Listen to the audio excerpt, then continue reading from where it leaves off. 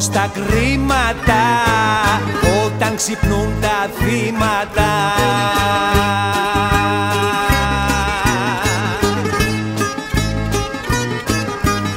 Πρέπει να αλλάξει συνοικία, πρέπει να αλλάξει επαρχία. Να αλλάξεις πρέπει πολιτεία κι αν θα βρεις την ησυχία μόνο στα κρίματα όταν ξυπνούν τα θύματα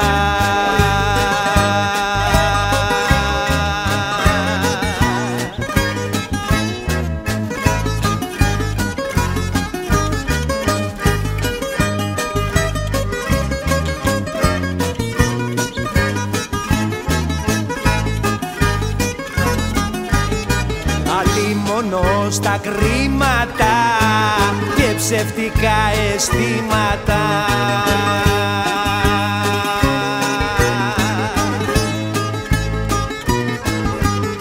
Δικάζονται σαν αδικία, δικάζονται σαν αμαρτία. Το θύμα ψάχνει την αιτία. Κι αν βρεθεί κατηγορία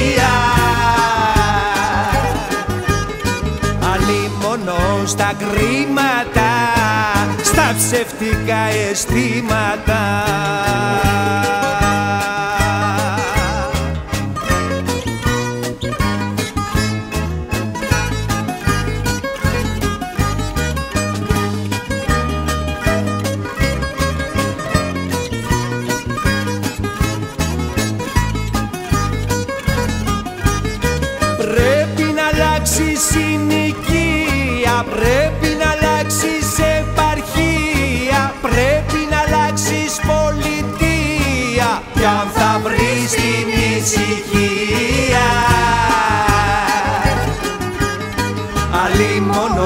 Κρίματα, στα ψευτικά αισθήματα